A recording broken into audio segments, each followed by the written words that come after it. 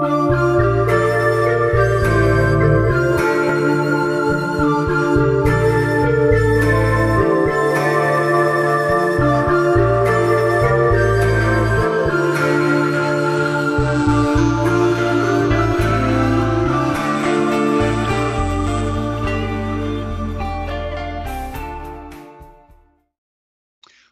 good afternoon, Peter. Good afternoon, Eduardo. This is Ed Reether in the Boston area and Peter Malakoff in Mexico. And this is our second discussion. Uh, we had a discussion last week at, uh, about Peter's work and writings. And for those who missed the first one, you could see it on Beezone, but this is a follow-up because a lot of the people that watched your first interview or discussion really became interested in the work that you've been doing now with Ayurveda, the Indian medicine technology or method of healing people and working with people, and of which you're a practitioner now that I believe in uh, have been for many years. hmm 15 years. 15 years. And so one of the things that I wanted to start with was how you became um, interested in Ayurveda methods or practice. Uh, what brought you into the practice of Ayurveda medicine? Suffering. Suffering. ah, the good Buddhist way. I um I formally entered into the realm of Vedic studies at the direction of Maharishi, who told me to do that.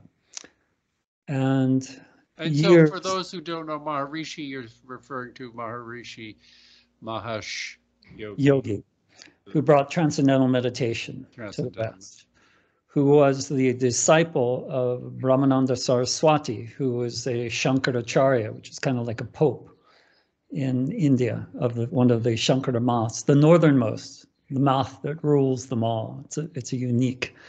Uh, there's four of them And in the four I- corners. I- I wanted to ask you about Maharishi, and didn't he have an influence? Didn't you also have some kidney issues when you were with him in Mallorca, Spain? In 1972, this date I remember. Uh, I was in Mallorca, Spain. It, it was an eight-month meditation course. A lot of the people were med- like myself were meditating 15, sometimes 20 hours a day. We would see Maharishi in the evenings only. And I didn't move for long periods of time. Maharishi said you do this thing called rounding where you meditate. Then after an hour, you do asanas. Then after an hour, then you do um, pranayama, and then you meditate again. It's called a, that was one round. But me, I was in, I was having ascended type experiences, and I was not going to move. you know, I didn't care what he said, and I came down with serious kidney disease. I mean, I'm not sure. You know, I had also changed my diet from raw foods and vegetables to a macrobiotic diet, and I was using a lot of salt at the time, and I was also relatively immobile for long periods of time. So I came down with kidney disease. I went to the course doctors. I was diagnosed. You have nephritis. It is serious. Uh, we might have to take out your kidneys, but don't worry, we can put you on a kidney dialysis machine and then we can get a transplant. And I went to another doctor and he told me the same thing. So I didn't know what to do. And I, I went to see Mar. I had a dream in which a woman appeared to me and said, You're not hungry, don't eat. So with that, I didn't pay that much attention to it. It was interesting. Anyway, I went to see Maharishi. I got in to see him around two or three in the morning. People would often wait outside his door. There were there were people who looked after him that were, but he would see people. So I got in to see him. I told him, Maharishi, I have nephritis. You know, the course doctors say I have to leave the course. I have to get my uh, get treatment. They suggest removing my kidneys. And uh, he said, What would your mother say to do? That's what Maharishi, that's the first question he asked me outside of what's going on. And I said, Well, my mother believes in fasting. And then this this dream I had had came up where the woman said, "You're not hungry, don't eat." And Maharishi said, "Then you should fast." So I began a fast in Mallorca, Spain, and the course moved to Fiuggi, Italy. But I continued to fast. I flew to England to uh, uh, Heathrow Airport in London because I was going to go to a fasting institute run by this man called Keki Sidhwa, Dr. Keki Sidhwa, who was a Parsi, who had a castle on the east coast of England on the Channel. And uh, but I didn't know where or how to get there, and I was in Heathrow Airport, and uh, I went into the phone booth there. I was already been fasting for ten days, so I was kind of weak. And I tried to make a call, and I couldn't find out where this guy was. And a man came up and he says, "Can I help you?" And I said, "Well, I'm just looking for somebody." He's, "No, no, no, no. Can I help you?" And I said, Well, I'm looking for uh, this man. He said, Well, what's his name? And I said, His name is Dr. Keki Sidhwa. He says, Oh, Keki. He says, You've come to fast. This is in Heathrow Airport. So he takes me, you know, and we go across town on a taxi and we get on a train and we go out to Frinton on Sea. And on the way out there, uh, we passed a bookstore and I felt I was going to be up for a long fast. And I went in there and I bought the Gospel of Sri Ramakrishna. I mean, out of all these books, I didn't know much about Ramakrishna at that time, who, which greatly influenced me. So anyway, I continued to fast for 43 days. I jokingly, jokingly tell people, I don't know why they make such a big deal about Jesus. He only did 40 days, but, but that's a joke. And um, on the 40th day, I had huge swellings in my mastoid glands, huge. And Keki Sidhwa was afraid that I was going to die because those glands are on both sides of the blood-brain barrier. So he called in local MDs, you know, regular doctors to see me, just so he was like, you know, off the hook in case I died. You know, they go, oh my God, you haven't eaten for 40 days. This is terrible. You know, we have to uh, get you to the hospital right away, intravenous feeding. But in England at that time, at least, you could decide your fate, unlike in America where they, you know, you have to do this. So I told them no. They told me, you know, you're going to die, son. You know, this is serious. I stayed with my decision. They walked out the door. As soon as they walked out the door, these burst inside my mouth. As soon as the door clicked, and they drained. They drained for a whole day. I spent two more days in fasting, and on the third day, I woke up. I was in radiant health. I tell this story because when you fast, when you eliminate, symptoms come up. Those symptoms are not indicative of a sickness necessarily. Those symptoms, they can be, but they are can also be indicative of an eliminative crisis. And after 40 days of not eating, that's what was coming out my body. I had a lot of dental work done.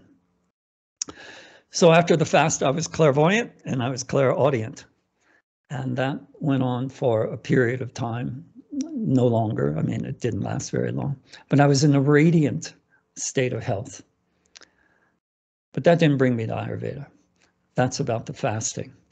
At that time, I, I believed in eating you know, raw foods, natural foods, I went back to the raw food diet. I left macrobiotics and later integrated that more. So Did you, you go back to Maharishi? It? Yes. Well, I went home. I thought I was enlightened. well, you were kind of enlightened. I was like, I was cheap, cheap, cheap thrills. You know, it's like it was well, enough for me.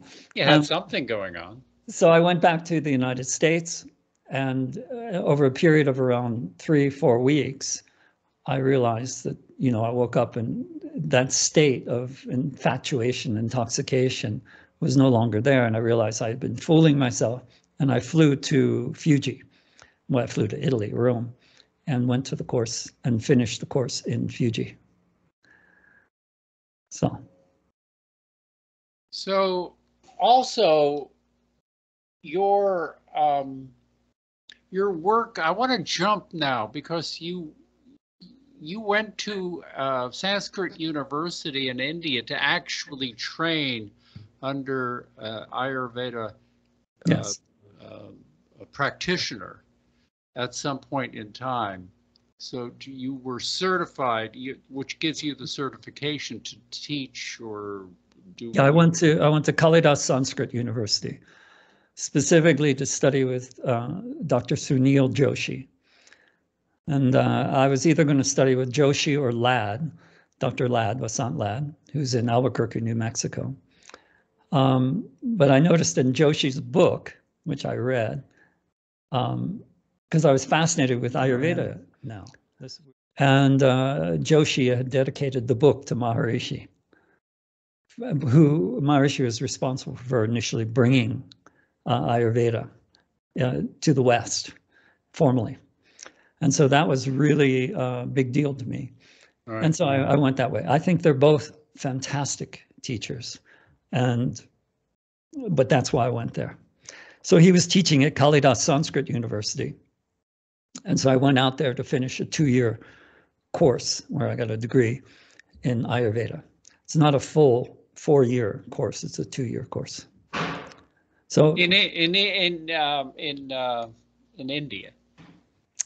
In the, it started in America and then went to India. Yes. There's a karmic On, aspect. on my very first day of Ayurveda college in Nagpur, Maharashtra, in India, the head of the whole uh, school, as I remember, came in to address everybody. And he said, everything in the world, without exception, everything is medicinal. Absolutely everything, absolutely everything is medicinal. And absolutely everything in the world is poisonous. Absolutely everything. And Ayurveda will teach you to tell the difference between the two. So when I got a heart attack, when I got all these problems, I had actually become perverted in my dietary cravings towards exactly the things that I shouldn't have, which is the single most common thing that I've discovered as a practitioner. When, you know, seeing people all over, is that people are addicted exactly to the things they shouldn't have, even though I thought I was eating a very healthy diet. So Ayurveda is a science that is it, it, it's like inherent in the nature of life. It was not. It was discovered. It was not invented, and it is the science of life. Ayurveda is life. Veda is the science or knowledge of, and it's about understanding a person's makeup elementally in terms of the five elements, in terms of their season of their life, in terms of where they live, in terms of uh, uh, what they eat, what they don't eat, what kind of work they have, all these things. What was the genetic makeup of their parents? What kind of diseases ran in their family? It goes on and on and on. Sometimes people are eating good food, but it's in bad combinations. So it's it's a it's a very thorough uh, consideration of life and how to balance life and how to tell what is good and what is bad, what is healthy, what will balance this person, and this will imbalance the person. And it takes into account that people can become perverted or confused or ignorant in their choices. And that is the single most uh, consistent and amazing thing that I've discovered as a practitioner. Is that people are, when I first started practicing in San Francisco, I'd go to people's houses. I didn't have an office then. And I'd say, Can I go into your cupboards and look in your refrigerator? And they said, Sure. Adios, Lily. They, they would, um, and I would tell just by looking at what they were eating, most probably, in most cases, what was going on with them. All right.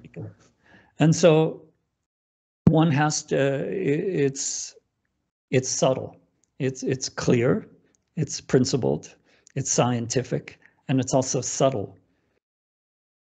One of the things they didn't teach in Ayurveda college, which I would always raise my hand and say, hey, what about this? Was the science of omens, Of what? omens, Omens. signs in nature. Right. There's like books on this. I mean, in the in the classical treatises, you know, if your person comes to see you and they see a cow walking from right to left or this kind of animal or that, These are all indicative. You see, Western medicine is based on omens, Western medicine. In other words, they, they do a chart, they do a test, they say, this is a, I see a sign here of something. Well, Ayurveda did the same thing. When I do a pulse, when somebody does a pulse, when you, there's a whole bunch of things, the way a person talks, the way they walk, the way the speed at which they talk, their skin, their, their body type, you know, all sorts of things are omens and indicative of what is going on or what is not going on. So it's an amazing uh, science. It's a Vedic science, and it's meant for the simple purposes of maintaining the health of the healthy and uh, getting rid of the disease of the unhealthy. And it does it by a different approach to the law of karma than Western medicine. Western medicine says, oh, you got arthritis in the knees. You know, I, am living here. There's a lot of older people here, Westerners. Arthritis is really common. And, you know, they have knee replacements. I'm like, well, this is crazy. What caused that, that, that uh, arthritic condition there? Can, and can it be reversed? Yes. I mean, not, not right away, but it's, it's a far more effective, less expensive, and benign way to deal with disease, which is remove the cause, not the symptom. If the oil light goes on, you don't surgically remove the oil light. You go, you stop the car, you go into the engine, you do something, you know, with oil with the engine. Right, right. So Western medicine has a different approach to the law of karma itself. It says we can get rid of the symptoms you know, you give you a knee replacement, new liver, new kidneys. See, it's a whole different worldview, right. profoundly different. And so uh, studying Ayurveda was like a, a, reconsideration of so many things in the Vedic culture. I studied mainly the philosophy, the religion, the, the stories, the you know Puranas, all that. But this is the same science, the same teaching in a different consideration, just looking at a different part of the sky. Right, right. How can anybody comprehend the multidimensional? Here's how. Here's how a beginning. I'll, I'll integrate Ayurveda, the Vedic tradition, and COVID. In the Ayurvedic scriptures from five, 10,000 years ago, it depends on which scholars you're talking to a pandemic occurs when the government, when the king is corrupt. I don't have to put that together for you, do I? That's when a pandemic occurs. When the government, when the rule is is corrupt, th then then it manifests. In the so how would I talk about the Mahabharata. This Mahabharata is the biggest epic in the world. It's like an Encyclopedia Britannica in size, the full Mahabharata. And one small little sliver of that encyclopedia is the Bhagavad Gita, which most people are familiar with. It's not the only Gita in the Mahabharata, it's, but it's, this whole thing was composed by Veda, who they called Veda Vyasa. Vyasa, it's great sage. In the Bhagavad Gita, where Krishna comes out on a battlefield as a charioteer for his friend and devotee, Arjuna. Arjuna says, drive me out on the battlefield so I can see with whom we have to fight. And Krishna drives him out there and says, behold, the assembled Kauravas, the bad guys out there. Behold all these guys, our enemy. And Arjuna looks and instead of seeing the evil and the, the Wops and the Japs and the, the Germans, he sees sons and grandsons and grandfathers. His vision is colored.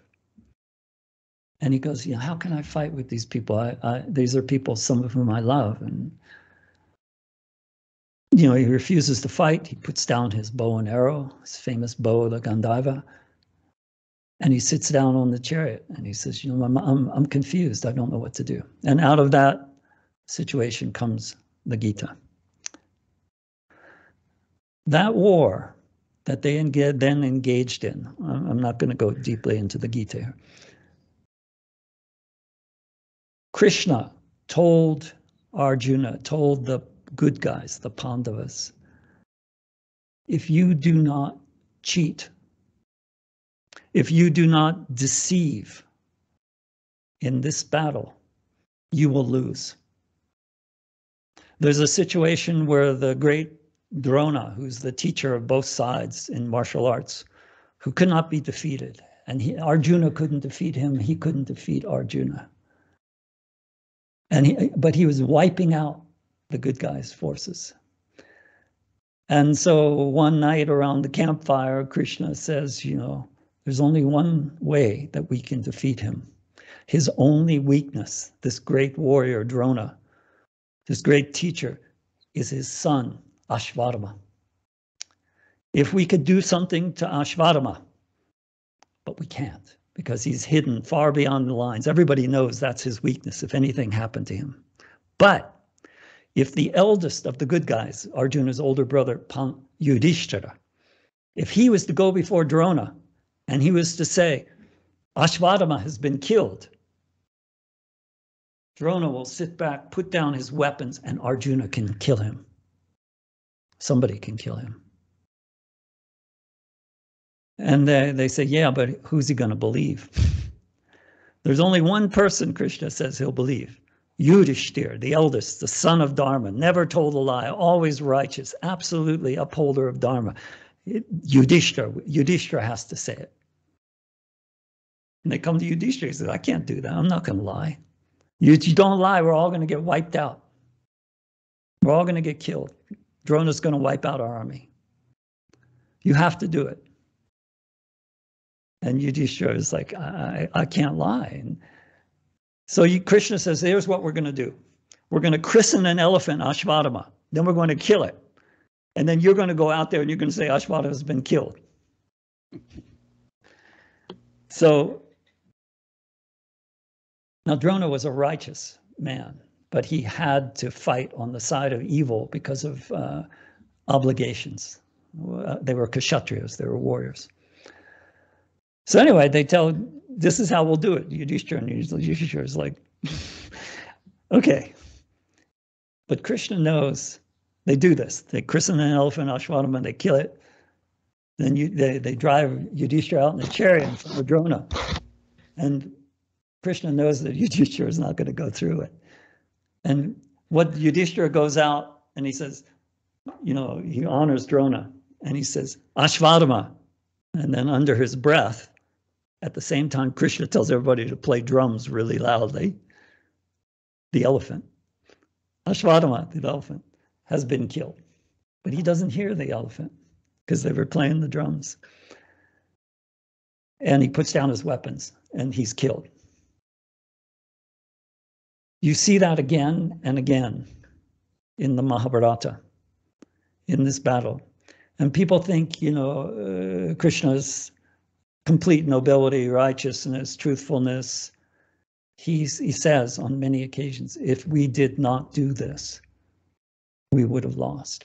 And that is the relevance of a, the Mahabharata, a single story out of it for this day and age.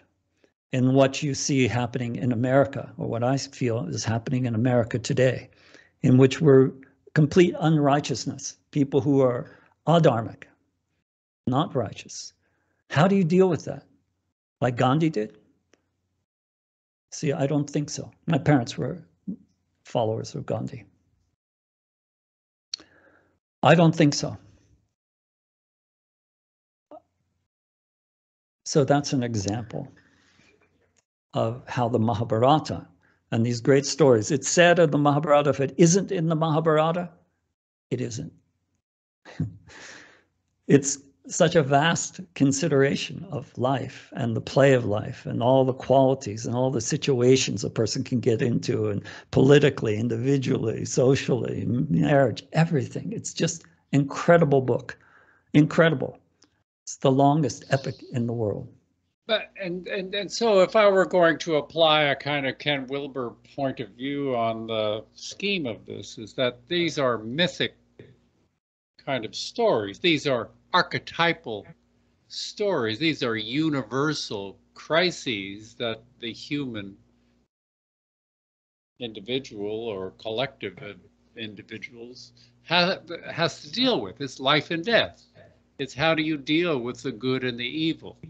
How do you work out injustices? How do you work out people who are suffering and those who are not suffering and can help?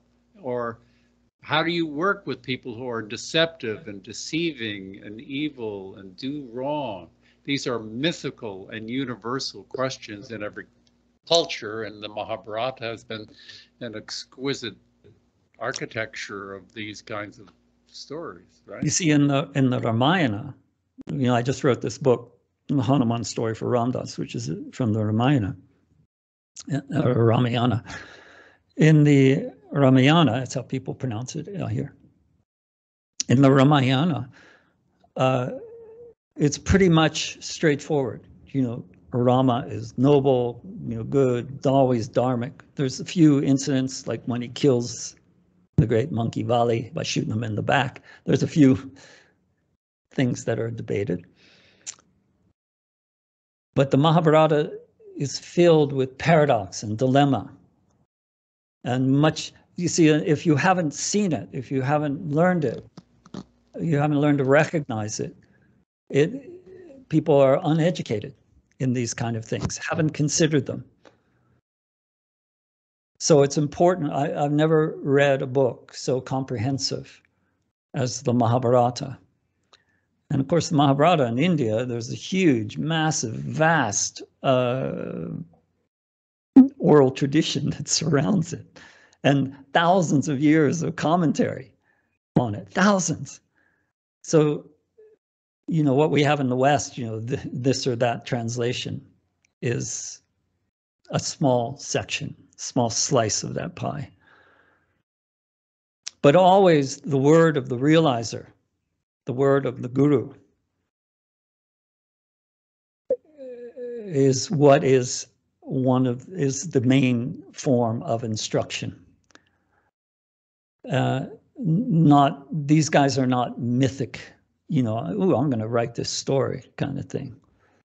They're recorders of this story. Did I tell you about the most? you stop me if you don't want me to do this. So, one story leads to another. The most single, most amazing thing that I experienced in India. Would you like to hear that? Yes. Okay my roommate in Ayurveda college, a man called Antoine, uh, he had been in India before me. He used to live in Goa. He was a, a real wild character. Um, but he was my roommate. We lived in a hospital, Ayurvedic hospital. And um, he told me, he says, there's these people that you can go to and you give them your thumbprint. I did it and they told me my father's name, my mother's name, my name, my you know just off my thumbprint, who my brother was, all this stuff. He says it was the most amazing thing. So you know, he was kind of a wild character. I just thought I didn't think it was going to be true, but I, it was one of the first things I did when I graduated from Ayurveda college. I went to Old Delhi and I went up to this place, this nondescript place, and they had all these palm leaf manuscripts piled up against the wall and a bunch of people waiting, predominantly uh, Indians, but there were a few white people, to see somebody who would take your thumbprint. So they took my thumbprint and they said, come back in a day. I didn't tell him my name or birth date or anything like that. So I come back the next day and I am shown into a small room and the guy's sitting on a desk and there's all these palm leaf manuscripts that, you know, are piled all around this place. And he starts to look at them and he opens the, you know, there's a board you, you flip open and there's written on a palm leaf. And he says, is your mother's name? I had my own translator, which I had picked up on the street. I was told to do that. So the guy didn't know anything about what I was doing because they spoke Tamil. I'm up in northern India, so it's it's Hindi up there predominantly. So anyway, I just won't bother with the translator. They they spoke. It was being translated to me, and they said, "Does your mother's name begin with a G?" No. Your father's name begin with an F? No. You know, it just goes on and on. You know, are you is your father in the plumbing business? No. You know, and each time they put that book away, take out another one. They had a set number. So anyway, they got. You know, I thought two and a half hours had gone by. I thought they're not going to find my leaf. Antoine was probably lying. And uh, they flip over. and they, Is your mother's name begin with an M? Yes, big deal. After two and a half hours. Yes, it begins with an M. Is her name Marguerite? It was Marjorie. I said, yes. Is her middle name Martha? I just stood up. I said, because I felt something was about to happen. And I said, I, I, I want to take a picture of this. I didn't want to go any further. I wanted to take a picture. Maybe they were reading my mind. This is India. My God, who knows what the hell is going on here? Uh, we don't allow pictures. I insist I have to take a picture. So they called in the guru of the whole place, an older older guy, and he he looked at my leaves. He flipped them over. He says he can take a picture. So I took a picture. What I'm going to tell you now is independently translated. In the, what they were translating was ancient Tamil, which had been translated out of Sanskrit around thousand years ago. These leaves were a thousand at least, or thousands of years old. So he said, I'd take a picture. So they said, uh, Is your mother's name Marjorie? Martha. Is your father's name Norman? This is your leaf. And then they, they started to tell me all this stuff about myself when I was born, what my name was, what I was interested in, all about this life. Then they told me all about my past life, you know, which who knows? It was it was benign, but it, who knows? And usually for a people person, they will tell you about your future life. Uh, it was the biggest smack in the face of free will that I have ever gotten. I mean, how could this be? How could this be written down thousands of years ago? Where what I thought I am controlling my life, you know, apparently not very much. They say that up to the point of that reading, these are called the Nadi, Nadi readers. Gandhi had his done, told him about his assassination. Uh, Deepak Chopra, these are just a few famous people that people will know. A lot of people. And um, and there's a lot of scams out there too. Right. Okay, so you, you want you don't all you give is a thumbprint, or they also can do it by measuring your shadow. God knows how that's done. I have no idea. But it's the biggest smack in the face of free will. And it was it was like meeting Adi Da. It, it completely took my legs out from under me. And I didn't know what to think. I didn't, you know, everything was fluid, became fluid and without ground. So I went to I wanted to go to the grand library of all the Nadi leaves. The British burned 60% of them. This is obviously the work of the devil Right. to them. And so I, I that caused me to travel down to South India. The uh, the Nadi leaves were in a town in South India in Tamil Nadu. And it was there, I was on my way there and I stopped off at Kanchipur, uh, not Kanchipur, um, Mamallapuram in Tamil Nadu on the coast uh, to watch the Indian National Festival of Dance. And after one night, the next night, it was just end of December, uh, the tidal wave came in. I was on the second floor. People were trapped downstairs in their rooms. The tsunami, the great tsunami. The great tsunami. I was there for that. Well, I've got one more little part of it. Well, let me, let, before you go further, because I want to get a sense from a, um, from, because we're so physically based in the West, we're so mentally understanding history from, you know, the Egyptians or Sumerian culture and whatever, and India is way off somewhere in the distance, and we don't really, it is so far removed from the sense of what we understand history to be.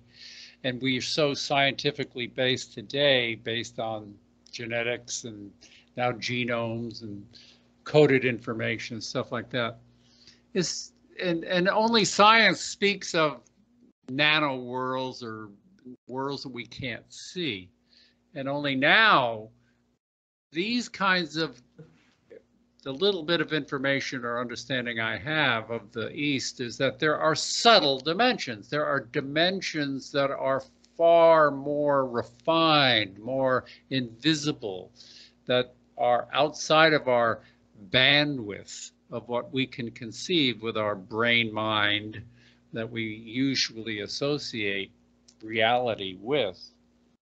And only now, these kinds of unknown worlds of information that can be given into this world that we don't understand, it it just shows our limitations. The West is talking quantum mechanics, and we in the West are still driving cars and smoking cigarettes and living the life of football and baseball and sports and what's the latest fashion. I mean, we have a very narrowly defined sense of reality. And there are so many things that you've addressed that we have just put to the side, whether it be death or sickness or your mother's grandfather that you who couldn't talk about the world that he grew up in Poland in 1938 when the Germans came in. You know, there's so many hidden and and part of the the diseases that people have are diseases of secrets, diseases of unconscious material that they don't want to look at, to inspect. So to bring in the Mahabharata, to bring in the palm leaves, to bring in the these other realms, they're so outside of our, as the British would have done. This is the work of the devil. We have a very good, bad, and limited point of view in the West. And only now that these kinds of realities after the 60s, I guess, culturally got integrated into the world of of uh, the young people uh, where we grew up. That this was was quite we were we were almost literate with it without being literate, without being uneducated because of the various methodologies and substances and and practices that were available to us when we were young and impressionable people. So it's only now that it's becoming somehow integrated. I mean, it somehow, go ahead. Uh, it just takes about 50 to 75 years for any of this stuff to be integrated into what would be Christianity and scientific materialism.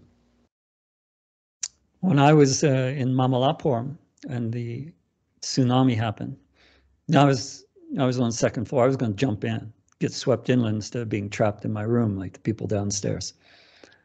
But then I noticed it started to, it stopped and then it went out again.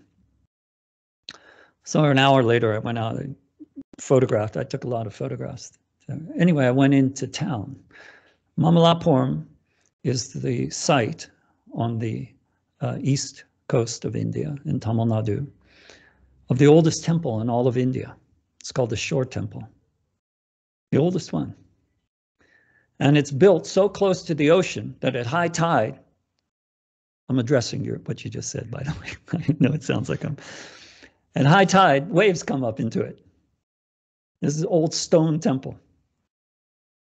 And the Portuguese and the French and the British all like, what dumbasses the Indians are to build a temple so close to the ocean. I mean, how stupid can you get?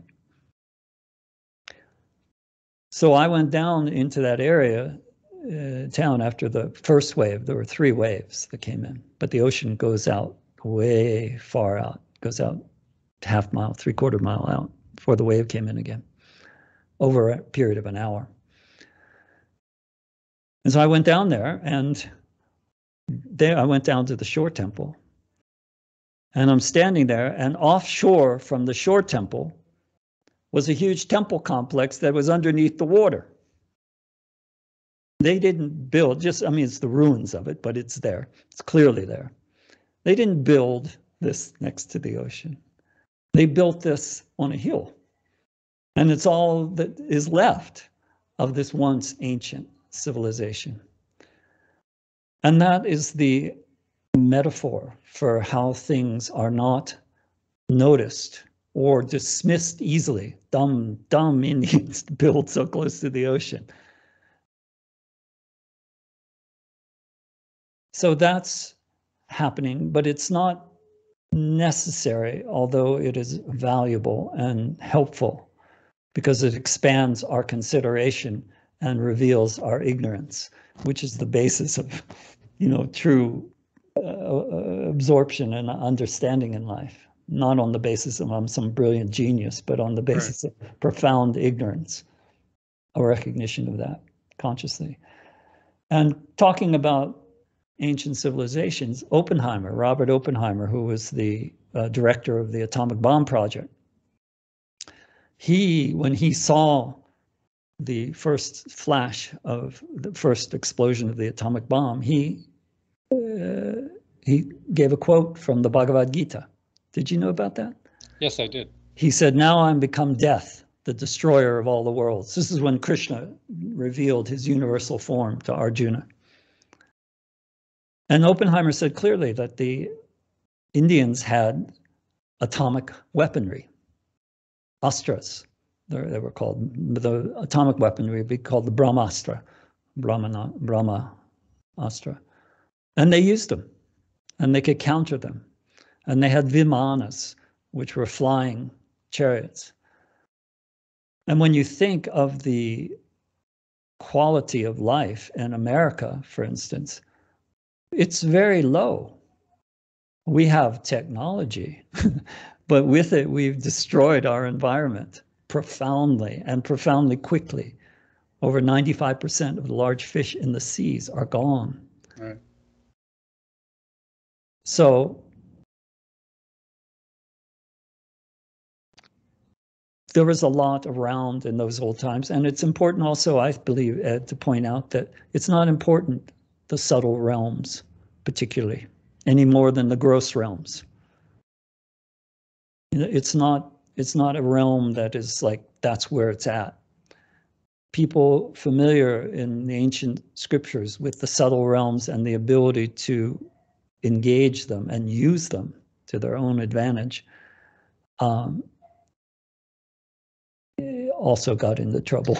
well, it, it is interesting because you do have to acknowledge that there is an existence of these subtle realms. And one of the things that Adi Da was asked one time, he said, well, why do good people suffer so poorly and so many bad people are given so many gifts of wealth and they look like they're having a good time? And he said, well, that's because these, what you see here is on the lowest end of the spectrum of possibilities, if you will. And that if you were going to do good, the effect of that goodness is actually occurring on levels that you're not even cognizant of. You're as well, as well, not instead of, but as well. There's a famous story in the Indian Puranas of a man is walking along a, Indian, a road or a jungle path to see his guru. He's going to the temple to see his guru. He's a really good man, noble man, practitioner. He's walking along a path, steps on a thorn, goes up the hill, gets another thorn to take out the thorn. This is a traditional metaphor you see a lot in Indian culture. Anyway, he's sitting there up on the hill, you know, getting out the thorn out of his foot and he sees the worst guy in the whole village. Evil guy, deceitful guy, liar, cheat, you know, everything, walking along the same path. He doesn't see him up on the hill. And he stops just about right where he got that thorn in his foot. And he looks down and he brushes aside the dirt. He digs a little. He takes out a box. He opens it. It's filled with gold coins. And he goes, Holy shit. You know, I got a thorn in my foot. This guy got a little box of gold coins. So anyways, when he gets to his guru, he tells him the story, you know, the thorn the foot and the other guy with the gold. Everybody knows who the bad guy is. He said, how did this happen? I've been a practitioner, I've been, you know, this and that. How did this happen? The guru sits, he says, in your, in his last life, this man, because of acts that he did, was destined to have a great fortune in this life. And all he got was a small box of gold coins. And in your life, you were destined to have terrible things happen to you in this life. But because of your practice and your engagement in good and dharmic action, all you got was a thorn in the foot. So I think that that's, that was uh, told, that story was told by Sri Ramakrishna. And he used to teach through parables and, and teachings predominantly. And uh, so it's important, I believe, to also emphasize that the actions that we do in this life, it's not just that karma's un- mis- change things in this life. It may not give you a gold box of coins, you may get a thorn in the foot, and you may not understand why. Right. But the actions that we do, the karmas we do, make a difference. They don't, karmas cannot bring about realization. That's Shankar's famous words that knowledge alone destroys ignorance, not action. But knowledge uh, can be uh, shaded, shaded heavily, like you see in the one of the major parties in the United States today.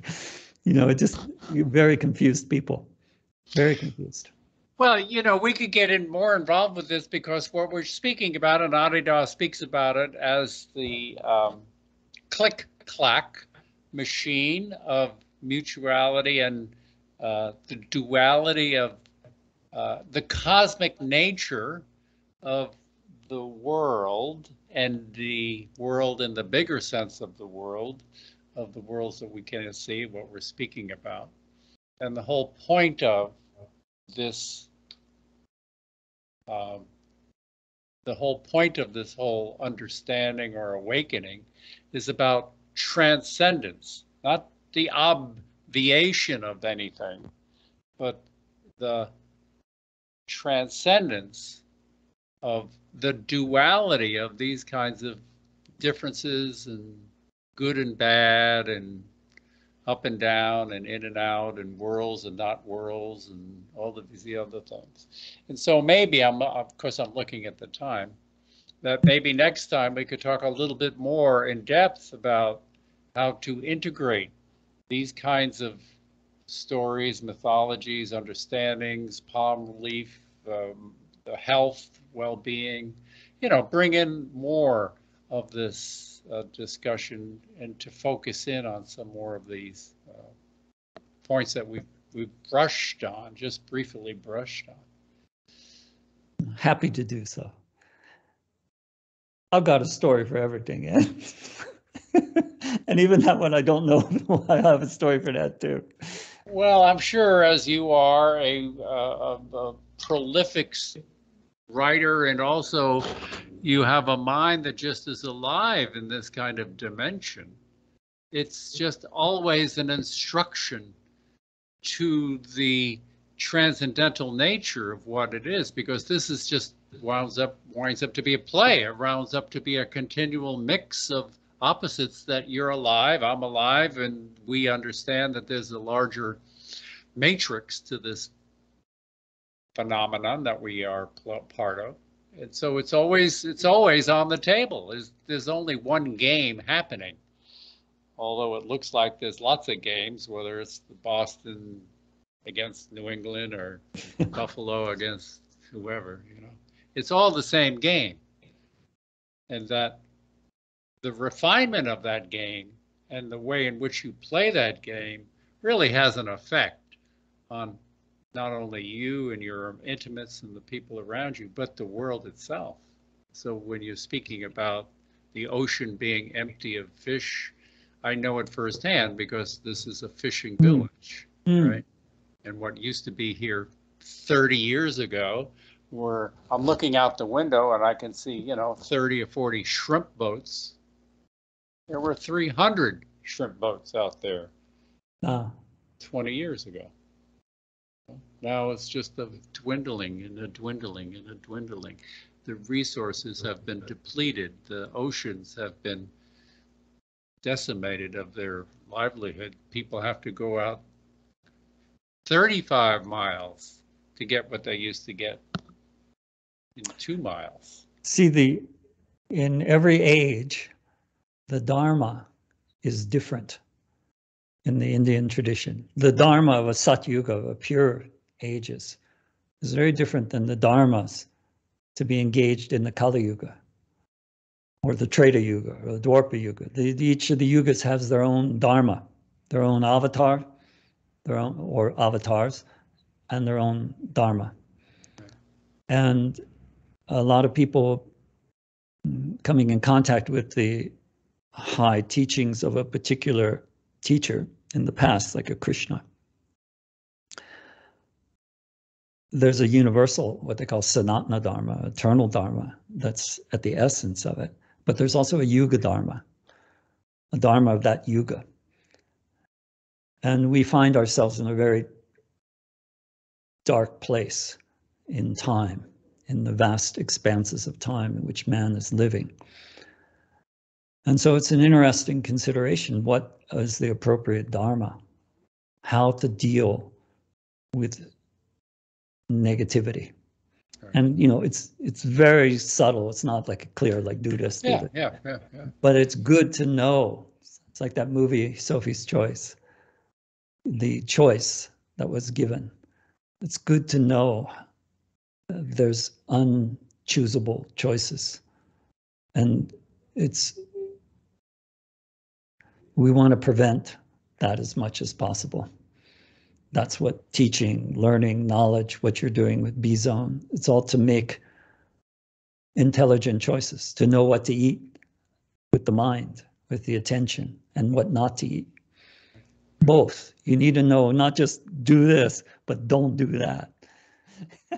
Well, I was, So I would like to just say, we've been speaking for a long period of time. I know we've been all over the place with a lot of the discussion, but I, th- what, what we're painting a broad picture here and I want to continue the discussion because I find our conversation to be lively and interesting to me. And uh, I, I hope the uh, people who are watching and listening also find it of interest and beneficial. And if they want, they wanted me to address other issues, or you do, just let me know, because I, I, I can carve out any slice of the pie. Right. There's, there's a big pie out there.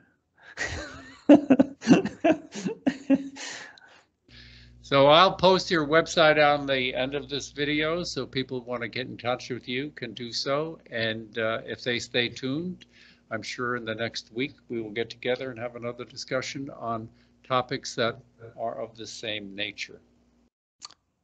Sounds good, Ed. I'm a cow wanting to be milked. All right, we'll go grab one of those titties next time. Ah, Very good. Thank you, Ed. Thank you for the, the, the chance to talk. I appreciate it. All right, I enjoyed it also. Have a good day and we'll keep in touch. Okay, sounds good.